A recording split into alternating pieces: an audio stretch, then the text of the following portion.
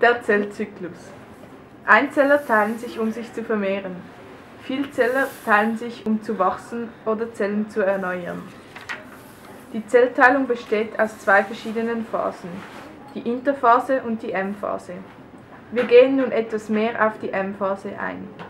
Sie besteht aus der Mitose und der Zytokinese.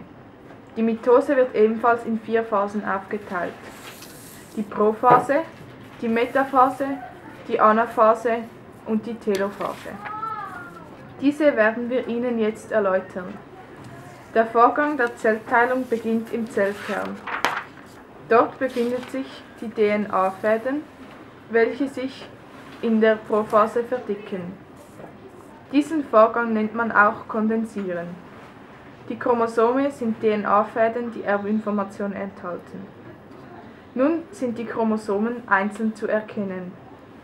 Zwischen den Polen bildet sich die Teilungsspindel. Der Zellkern löst sich auf. In der Metaphase findet eine Spirilisation statt. Das heißt, die Chromosomen werden weiter verkürzt und verdickt. Sie haben sich in einer Ebene angeordnet, der Äquatorialebene, und die Schwesterchromosomen weisen zu den entgegengesetzten Spindelpolen.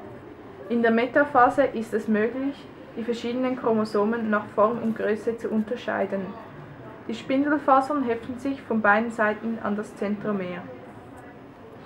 Die Chromosomen, welche zurzeit aus zwei Chromatiden bestehen, werden in zwei einzelne Chromatiden geteilt.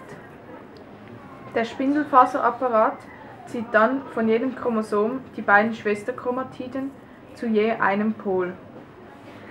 Die Tochterchromatiden kommen in der Telophase am jeweiligen Pol an. Danach bilden sich Nukleoli und Kernhülle von neuem. Nach der Telophase ist die Mitose abgeschlossen und die Zytokinese folgt. Die frisch geteilte Zelle kommt nun zur Interphase, die auch Arbeitsphase genannt wird. Die Interphase ist ebenfalls wie die M-Phase in verschiedene Teile gegliedert.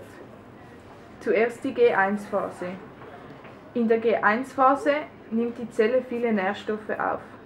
Sie wächst, bis sie so groß ist wie die Mutterzelle und bereitet sich auf die nächste Phase vor. Diese nächste Phase nennt man S-Phase. Das S steht für Synthese. Hier verdoppelt die Zelle ihre Erbinformation. Dies wird auch Replikation genannt.